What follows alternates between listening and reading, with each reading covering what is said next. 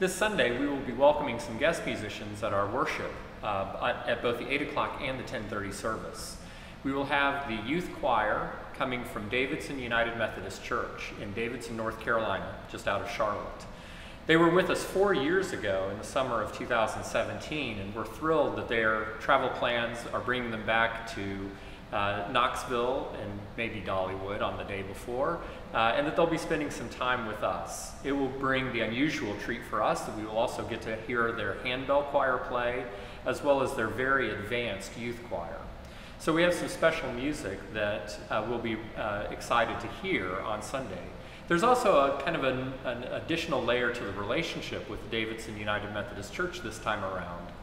Um, as, as you know, Goulding and Wood is the, is the team of artisans that built our pipe organ that we've had now for just over a year.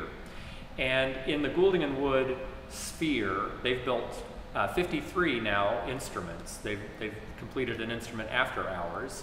And they talk about the organists who play those uh, instruments all as being cousins in the family of Goulding and Wood. And at Davidson United Methodist Church, they have uh, Opus 31, the 31st organ that the firm built way back in 1997.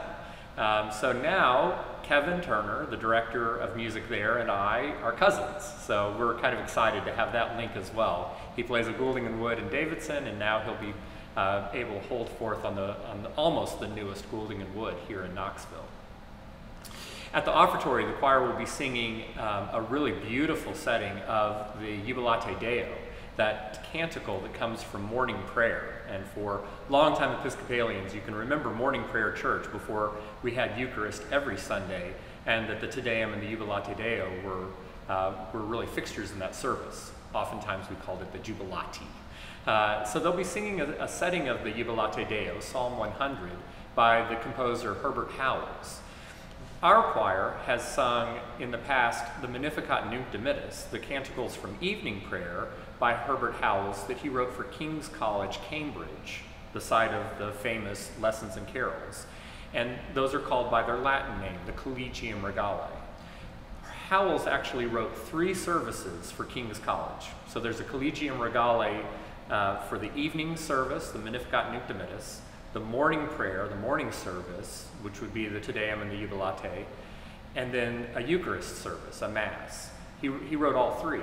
So while you've maybe heard the choir, our choir, sing the Magnificat Nunc Dimittis of the Collegium Regale service, this will be your chance to hear the Davidson Youth Choir sing the Jubilate from the morning service.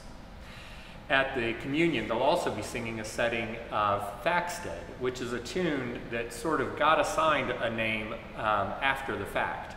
This is a tune by Gustav Holst, and he used it in his orchestral suite, The Planets, in the movement Jupiter.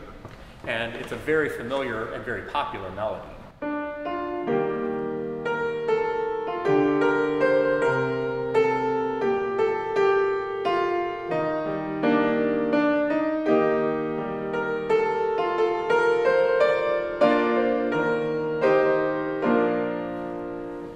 It's such a popular tune that folks in the hymn world decided to appropriate it and use it as a hymn tune um, on its own. And so it's been named Thaxted, which is the birthplace of Gustav Holst.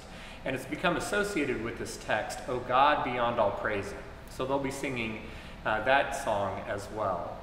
Uh, we also have some really great hymns in store. Uh, the sequence will be singing Morning is Broken, uh, and, and the communion will be singing I Come with Joy to Meet My Lord. So a lot of really great music. So we hope that you will come and welcome our cousins from just across the mountain ridge in Davidson, North Carolina, as they worship with us this coming Sunday at both the 8 o'clock and the 1030 service.